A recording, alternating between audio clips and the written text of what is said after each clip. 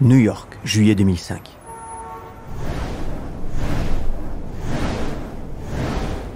Miguel pousse un soupir de soulagement en rentrant dans le building de Tribeca. La fraîcheur de la climatisation l'arrache brutalement à la chaleur de l'été new-yorkais. Le jeune architecte n'a pas plus envie que ça de se rendre à cette fête. Pourtant, il s'y est obligé, bien décidé, à sociabiliser pour vaincre sa timidité. Il faut dire aussi qu'un barbecue sur les toits de New York, ça ne se rate pas. L'ascenseur est déjà aux trois quarts plein quand il rentre à l'intérieur. Il se calme maladroitement entre une mère de famille au visage fatigué et un businessman transpirant sous un costume trop petit. Alors que la porte de l'ascenseur se referme, un pied nu se met en travers et bloque cette dernière. Lorsqu'elle se réouvre, le spectacle qu'offre le nouveau venu est plus que surprenant, même pour une ville comme New York. Un grand échalas de plus d'un mètre 90, uniquement vêtu d'un short beige de l'armée israélienne, rentre dans l'ascenseur. L'ascenseur démarre et aussitôt le nouveau venu entame la conversation avec le businessman. Vous connaissez la différence entre vous et moi? Bah c'est une chemise. Vous en avez une, et pas moi. Et pourtant, nous faisons tous les deux des affaires. L'homme regarde les yeux écarquillés ce grand bonhomme à l'accent indéfinissable. Même en été, dans cette ville, il y a une énergie formidable pour les gens comme vous et moi. Miguel est subjugué par cet individu. Adam Neumann semble sorti de nulle part. En attendant, il retient la manche de son interlocuteur pour l'empêcher de sortir tout en maintenant la porte ouverte de l'ascenseur. Face à cette prise d'otage par la parole, les spectateurs dans l'ascenseur affichent une mine mi-fascinée, mi-contrariée. Pour Miguel, les choses sont claires, il vient de trouver l'homme avec qui il va s'associer. Bienvenue dans l'histoire de la folle ascension et la chute d'un homme qui va changer l'image du coworking, Adam Neumann, le fondateur de WeWork. Dans le premier épisode de cette série en deux épisodes, je vous raconte la création de WeWork. Bienvenue, bienvenue sur l'apprenti. Avec l'apprenti, je vous raconte les histoires de celles et ceux qui entreprennent en moins de 30 minutes toutes les semaines. Je m'appelle Laurent Broy, je suis entrepreneur, j'ai créé et revendu ma boîte en 10 ans, et ça, c'est toute une histoire. L'apprenti est un podcast produit par Inspire Media. Tel Aviv, 25 avril 1979.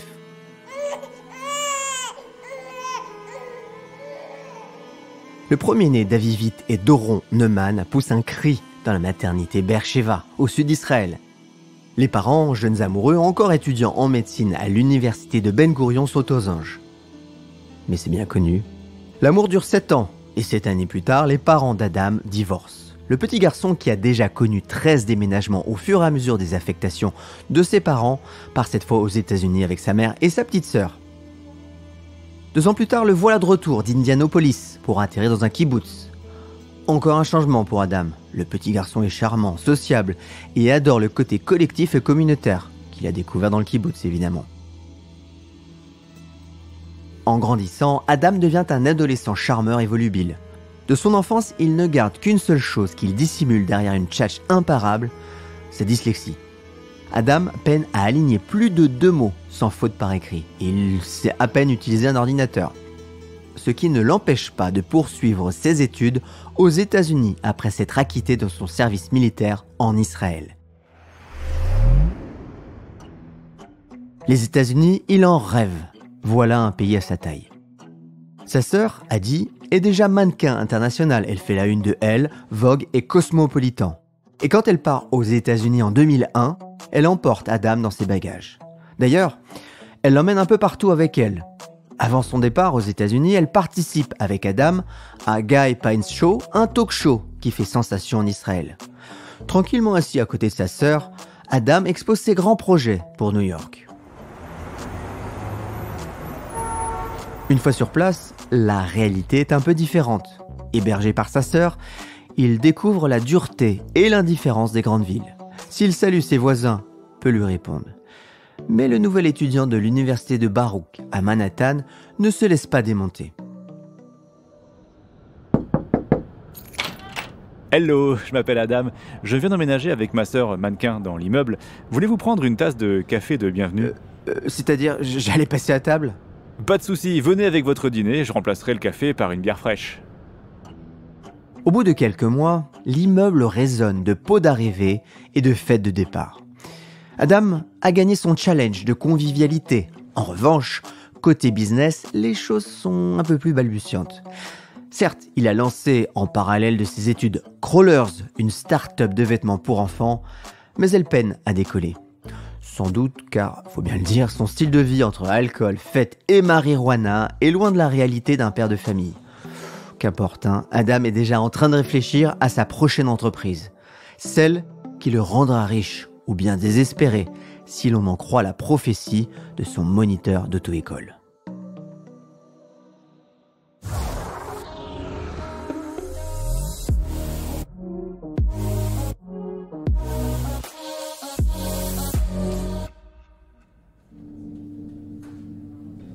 Salut, euh, je m'appelle Miguel, je, je suis architecte. Hey Salut Miguel, l'architecte. Moi c'est Adam et je suis entrepreneur. Oh, Oui, j'ai vu, tu m'as fait rire dans l'ascenseur. Ah cool, enfin Un américain sociable. Top là mon gars. Le courant entre l'architecte timide et l'entrepreneur israélien passe aussitôt. Quelque chose vibre entre eux, comme dirait Adam. Très vite, les deux amis deviennent inséparables et enchaînent les balades dans Tribeca. C'est lors d'une de ces promenades qu'Adam fait part à son ami de son idée. Depuis quelque temps, un nouveau concept se développe à New York, le coworking. Des petites entreprises ou même des freelances louent un bureau tout équipé dans des espaces partagés et ça cartonne. À ce moment-là, en 2008, Adam éprouve de sérieuses difficultés. Crawlers a mangé tous ses fonds, dont les 100 000 dollars de la grand-mère d'Adam. Il décide donc de mettre toute son énergie dans l'entrepreneuriat et arrête ses études. Il lui faut donc un nouveau projet pour rebondir. Merci Jack, merci Mr. Gutman d'avoir permis ce déjeuner. Je vous présente Miguel McKelvey, mon associé et architecte. Je sais que vous avez un immeuble de bureau à louer et... Vous êtes intéressé, Adam, c'est ça? Mr. Gutman, connaissez-vous le coworking? Ah non, euh, je, je vois pas du tout. Adam étale sur la table un numéro récent du New York Times et pointe son doigt vers un article en cinq colonnes.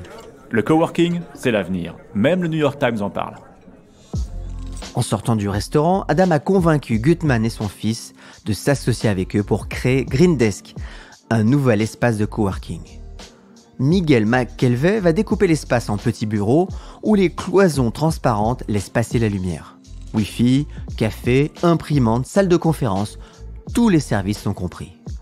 Quant au modèle économique, il est plutôt brillant.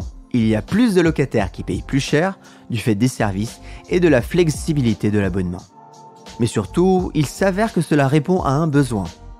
Dès le lancement en 2008, les premiers locataires s'installent au cinquième étage de l'immeuble Gutman. Les prévisions d'Adam et Miguel se révèlent justes et Green Desk est très vite rentable. Une rentabilité qui fait pousser des ailes à Adam. Ça marche Son idée marche. Et si elle marche ici, alors elle peut marcher dans tous les États-Unis.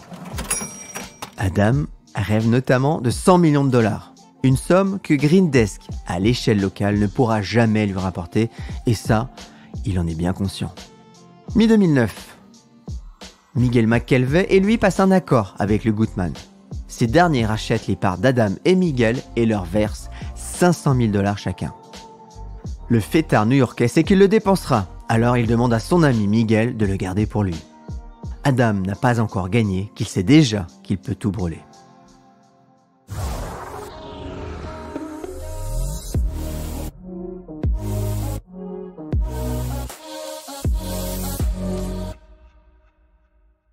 Janvier 2018, quartier de Manhattan, New York. C'est une rencontre un an plus tôt qui force Adam à se remettre en question. Mais alors Adam, pourquoi tu es sur cette planète? Je suis l'entrepreneur qui va changer le monde. Avec des accessoires pour bébé Mais écoute-moi mon ami, tu ne fais que des conneries, oui. La femme qui vient de lui donner la réplique est Rebecca Paltrow, la cousine de Gwyneth Paltrow et une membre de la bourgeoisie new-yorkaise. Malgré tout, elle perçoit derrière l'arrogance le potentiel de Neumann. Et puis, faut bien le dire, son charme fait son effet. Elle deviendra sa femme et la mère de ses cinq enfants.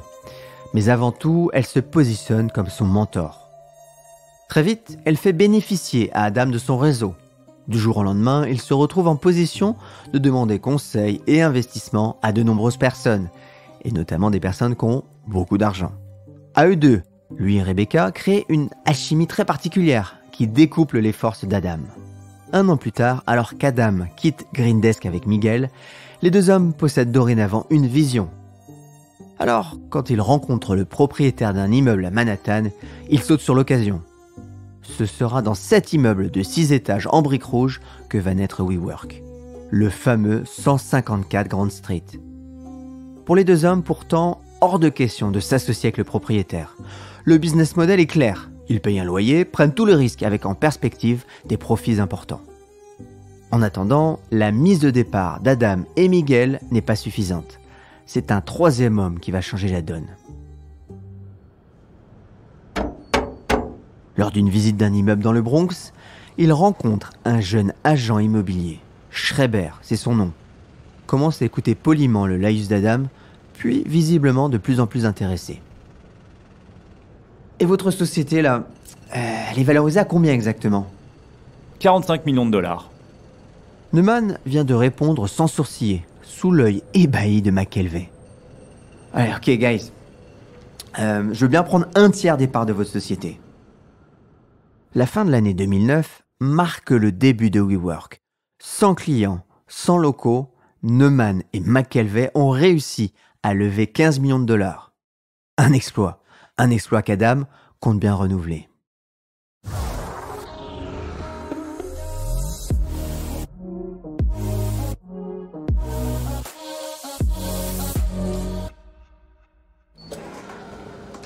Et des exploits, Adam n'est pas le seul à en réaliser. Le succès de WeWork est aussi dû à ses salariés, comme Sky, une des premières embauchées. Responsable de la communauté chez WeWork, elle va aussi bien chercher le client sur Craigslist, le site de petites annonces américain, que sur le terrain dans les Starbucks Coffee. Elle loue rapidement les 17 premiers bureaux, puis au fur et à mesure de la rénovation du bâtiment, elle continue de recruter graphistes, avocats et même un cinéaste indépendant. La preuve est faite. WeWork répond à un besoin. Le travail s'organise et une répartition claire s'opère entre Neumann et McKelvey. Ce dernier, chargé des opérations, s'assure que tout fonctionne. Adam s'arrange le rôle de PDG, négociant avec les partenaires et développant la vision dans l'entreprise. Un PDG qui commence à se faire une réputation. Pas encore sulfureuse, mais déjà fantasque. L'homme sert des shots de vodka en réunion et envoie ses nouveaux salariés se présenter au rabbin de sa communauté. Il exige d'ailleurs de ses salariés qu'ils portent une tenue à l'image de WeWork. Et quand on lui fait la remarque qu'il porte lui-même jeans et t-shirts, il rétorque Moi, mes t-shirts sont à 200 dollars. En attendant, il faut lui reconnaître qu'il signe de belles affaires. C'est notamment lui qui négocie avec un investisseur immobilier de New York pour récupérer un second bâtiment à une petite encablure de l'Empire State Building. Ah oui, WeWork Ah WeWork Il y a de quoi trinquer. Neumann signe la même année deux nouveaux investisseurs. Ce qui s'avère plus que nécessaire car WeWork brûle ses liquidités à toute vitesse. L'expansion est coûteuse et il ne se passe pas une semaine sans que McKelvey appelle Schreiber pour lui réclamer l'argent promis. Neumann, lui, continue de mener un calendrier d'ouverture agressif. En 2011, par exemple, WeWork compte déjà 4 bâtiments à son nom. WeWork est alors une entreprise où l'on travaille dur et cette même année, les résultats sont là. La part ridicule de 50 000 dollars pour un chiffre d'affaires de 7,4 millions de dollars augure du meilleur. Et le meilleur pour Neumann, c'est de préparer l'expansion au niveau national. Et donc, d'ouvrir WeWork au capital risque.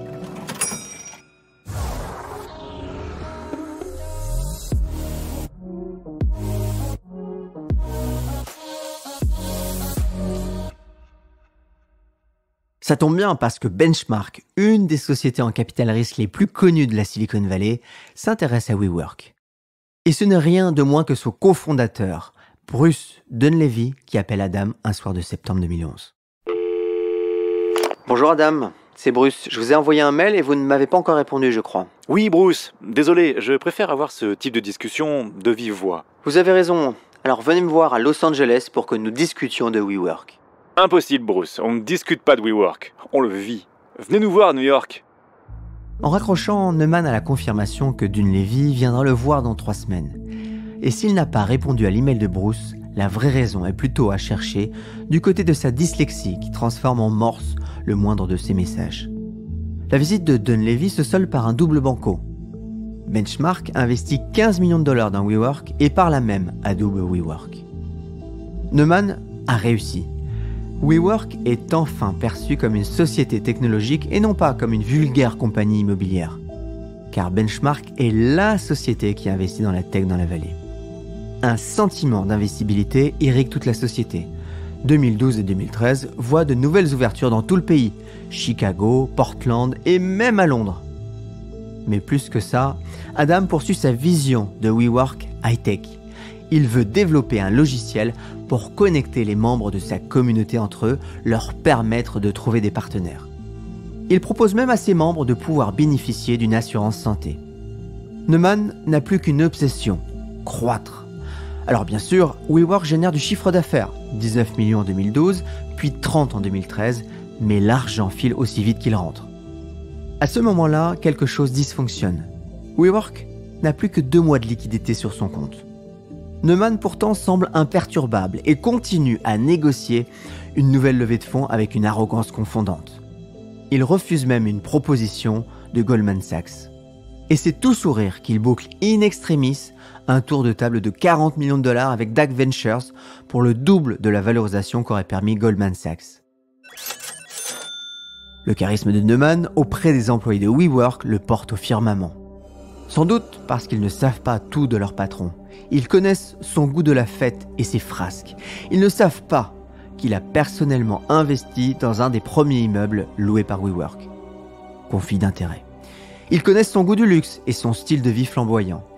Ils ne savent pas que plusieurs millions de la levée de fonds sont allés directement dans sa poche.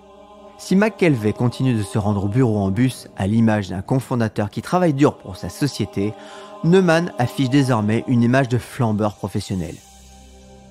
Il voyage en grosse voiture et en jet privé. Va-t-il être l'allumette qui va incendier WeWork?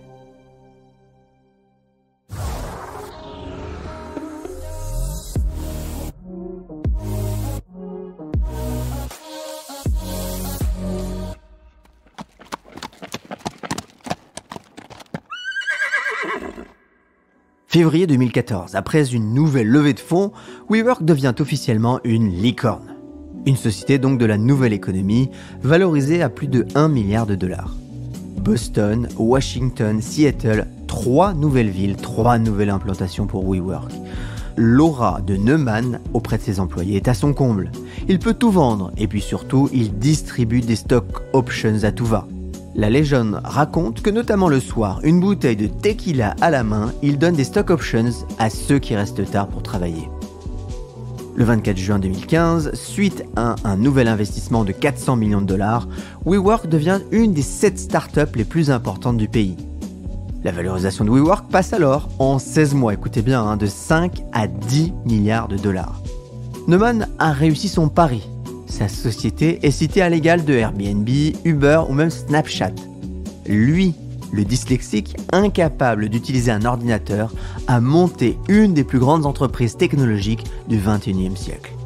Adam se voit comme un nouvel héros de l'entrepreneuriat. Si les investisseurs sont sous le charme d'Adam et de sa mystique personnelle, un mélange de Startup Nation et de technologie, certains analystes financiers sont plus mesurés face à la valorisation annoncée notamment le leader d'un groupe des marchés privés qui s'exprime à l'époque. Bon, j'ai fait refait les calculs avec mon équipe d'analystes. Je n'arrive pas à faire fonctionner une valorisation à 5 milliards de dollars pour WeWork. Neumann ne s'en inquiète pas. Ses prévisions à lui affichent la somme rondelette de 2,8 milliards de chiffre d'affaires en 2018 pour un bénéfice d'un milliard de dollars.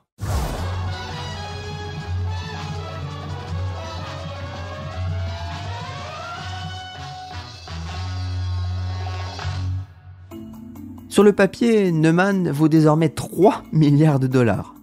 À ce stade-là, Adam est devenu accro à la levée de fonds. Chaque nouvelle levée de fonds est l'occasion de présenter une nouvelle valorisation au grand public. Dans les coulisses, les choses sont un peu différentes. Depuis 2013, Adam a mis en place un système d'action préférentielle qui lui permet d'avoir pour chaque action 10 droits de vote. C'est une bonne manière évidemment de garder le pouvoir sur WeWork il a 30% des actions. Avec un tel système, il garderait le pouvoir avec seulement 5% des actions. Et puis surtout, Adam a besoin de liquidité pour maintenir son train de vie. Alors, il négocie de pouvoir vendre ses actions lors des levées de fonds. À plusieurs reprises, il cède des actions pour un montant de 120 millions de dollars à travers sa société WeHolding. En acceptant les actions préférentielles, le board de WeWork laisse le plein contrôle de l'entreprise à Neumann, un adolescent sans permis dans une voiture de sport.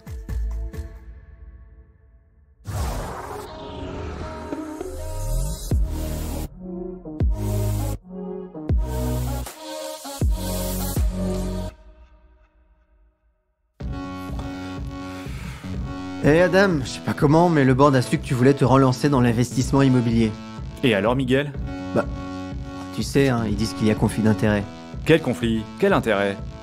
WeWork est à moi, et je fais ce que je veux Adam continue de faire la fête jusqu'au petit matin.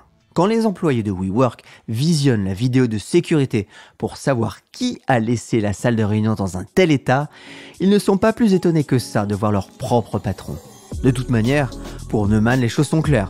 C'est lui qui crée la valeur de WeWork. Et désormais, il veut valoriser sa société entre 15 et 20 milliards de dollars avec une nouvelle levée de fonds. Et qu'importe qu'il ait terminé l'année avec 227 millions de pertes au lieu du bénéfice prévu de 49 millions pour 2015. Qu'importe que dans le milieu de l'investissement, il commence à se chuchoter que certaines valorisations sont délirantes. Neumann et son vice-président Michael Gross ne pensent pas à cela en quittant leur déjeuner arrosé en cette belle journée de 2015. Heureux du succès de WeWork, ils chantent à tue-tête. Nous prenons le contrôle du monde, nous prenons le contrôle du monde. Wouh Et ça, c'est une autre histoire. Merci. Je crois que c'est le mot le plus simple pour exprimer ce que je ressens là maintenant. Merci d'avoir pris le temps d'écouter car ce podcast représente beaucoup de travail.